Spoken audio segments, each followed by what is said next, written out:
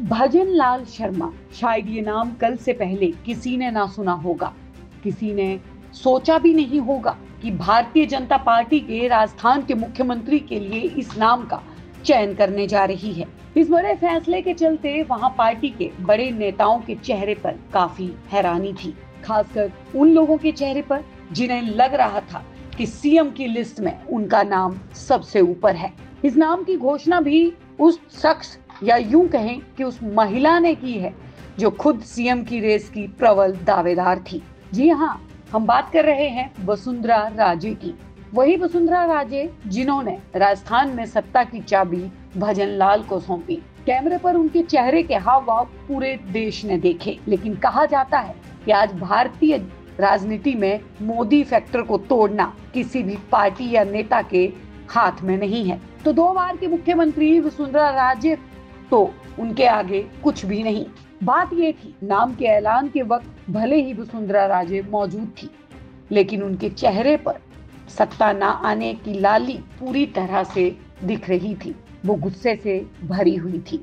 ऐसा लग रहा था मानो वो कुछ बड़ा करने की तैयारी कर रही हो। ऐसे में अगर हम वसुंधरा की तुलना मध्य प्रदेश के पूर्व मुख्यमंत्री शिवराज सिंह चौहान से करें तो वह बिल्कुल उल्ट है। हालाँकि दोनों बड़े नेता एक ही नाव पर सवार हैं, लेकिन दोनों की मानसिक स्थिति या अंग्रेज़ी में कहें तो बॉडी लैंग्वेज ज़मीन आसमान का अंतर था। एक तरफ़ जहाँ शिवराज मोहन यादव को प्रदेश की कमान सौंपते हुए मुस्कुराते हुए नज़र आए वहीं दूसरी ओर वसुंधरा अपना गुस्सा दबाती हुई नज़र आई। ऐसे में अब बड़ा सवाल ये उठ रहा है कि क्या राजे अपने गुस्से को यूँ ही दबाने में कामयाब हो जाएगी या इन सबसे ऊपर उठकर कुछ बड़ा करेगी? प्यासों का बाज़ार गर्म है और सत्ता की रोटी उस पर कभी भी सेकी जा सकती है। सूत्रों के मुताबिक कहा यह भी जा रहा है कि वसुंधरा को मनाने के लिए पार्टी आला कमान ने बड़ी जद्दोजहद की है। जिसमें 2024 में उन्हें कैबिनेट में शामिल होने का ऑफ़र तक शामिल है।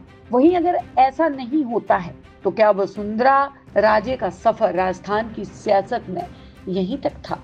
वैसे ही कहने में अब शायद गुरेज नहीं की पार्टी भविष्य की तरफ़ देख रही है, जिसके चलते वसुंधरा राजे, शिवराज सिंह, रमन सिंह समेत कई बड़े नेताओं को नजरअंदाज किया गया। वैसे चुनाव से पहले खुद वसुंधरा ने राजनीति छोड़ने के संकेत दिए थे।